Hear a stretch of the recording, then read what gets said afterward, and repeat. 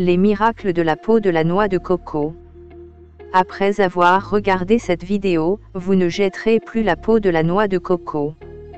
Nous avons l'habitude de jeter la peau de la noix de coco après l'avoir consommée et l'usage le plus connu de la noix de coco se situe dans les différentes fabrications ou encore pour faire le feu. Cependant la peau de la noix de coco a plus de vertus peu connues sur la santé que nous ignorons encore. Voici quelques-unes de ces vertus que vous devez absolument découvrir. 1. La tisane de la peau de la noix de coco est un remontant pour le corps en cas de fatigue. Lorsque vous êtes extrêmement fatigué ou si vous avez de la courbature, la tisane de la peau de la noix de coco est un bon allié pour retrouver la forme. 2. La tisane de la peau de la noix de coco permet de brûler la graisse. Si vous avez un problème d'obésité, la consommation de la tisane de la noix de coco peut vous aider à dégraisser et à perdre le poids.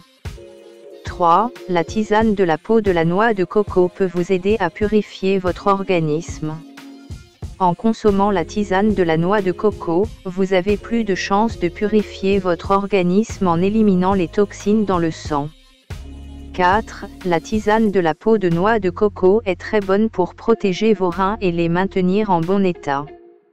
Donc si vous vous souciez de la santé de vos reins, nous vous invitons à la consommer régulièrement. 5. La tisane de la peau de la noix de coco est bonne pour votre système immunitaire. En prenant cette tisane, votre système immunitaire sera renforcé pour vous permettre de lutter contre de nombreuses maladies. 6. La tisane de la peau de la noix de coco permet de protéger votre cœur. 7. La tisane de la peau de la noix de coco permet de prévenir le cancer. 8. La tisane de la peau de la noix de coco permet de vous prévenir des AVC. 9. La tisane de la peau de la noix de coco permet de vous soulager de l'ulcère de l'estomac. Comment préparer la tisane de la peau de noix de coco? Vous aurez besoin de quelques morceaux de peau de noix de coco que vous allez mettre dans une casserole, ensuite mettez-y de l'eau bien bouillie et laissez décanter. Consommation Prenez un verre à bière matin, un le midi et un le soir. Attention, nous la déconseillons aux femmes enceintes et à celles qui allaitent. Nous vous souhaitons une bonne dégustation.